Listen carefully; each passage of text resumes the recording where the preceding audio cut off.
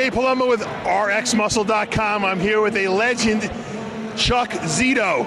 Chuck, what are you doing at the Arnold Classic? Hey, Dave. It's about my sixth uh, year. I always come here. It's one of the biggest things that I've ever seen. And I, I do the other on the martial arts side. I have a booth there. Are you selling? Uh, what are you selling there? I have my book that's been out. I sell uh, shirts. I do uh, my autograph, my pictures, or anything.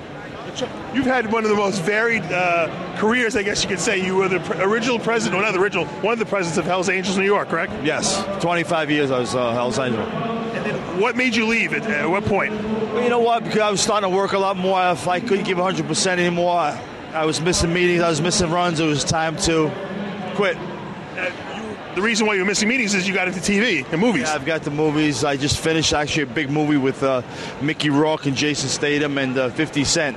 Oh, I heard about that movie. We start one uh, in four weeks with Sylvester Stallone, Jet Li, Jason Statham, Mickey Rourke, Dolph Lundgren, Ben Kingsley, and yours truly, me. What, wait, what, before we go back and talk about the old movies, what are you doing in this new one?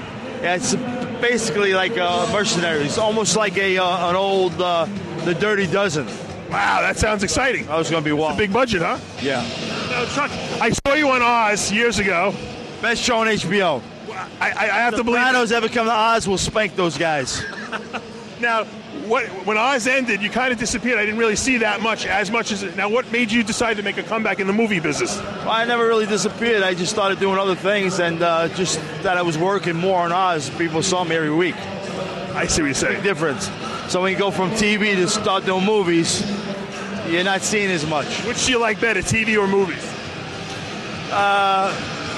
As long as I'm getting paid, I don't care. Either or.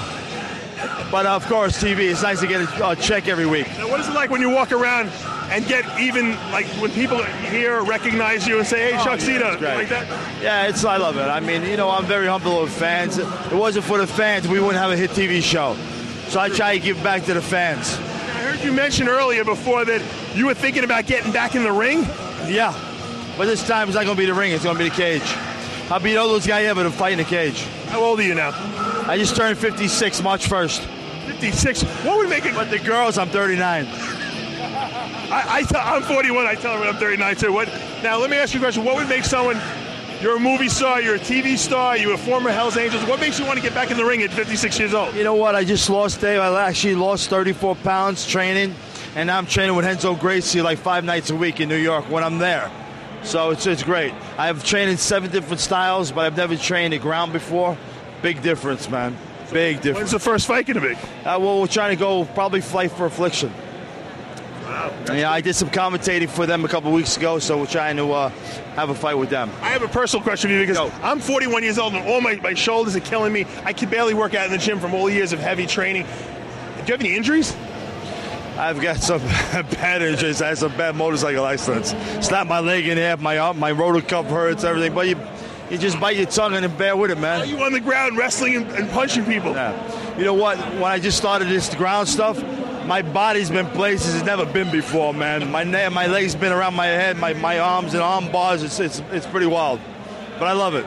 Chuck, I wish you the best of luck. We're going to look for your man. movies. I'm a big and uh, too, thank you very much. I've look forward to seeing you. years a lot. You got to let us know when you're going to be in the ring because I want to. I'd like to It'll follow the biggest thing. that. Howard, first of all, Howard Stern's going to promote the shit out of it. I have my show how on Howard 101. Your own radio show. Yeah, on, on Sirius. Yeah, so When is that on? it's on Monday nights from 7 to 8 p.m. You heard that? Chuck Zito on, on Sirius Satellite Radio Mondays at. Uh, Serious, man. Listen, I'm serious. he'll hurt you. Thanks, Chuck. Turn around. Let's see the back of your jacket. Chuck Zito set up here at the Arnold Classic selling his wares. See him back in the ring, and you can see him on the big screen. Dave Palumbo, RxMuscle.com.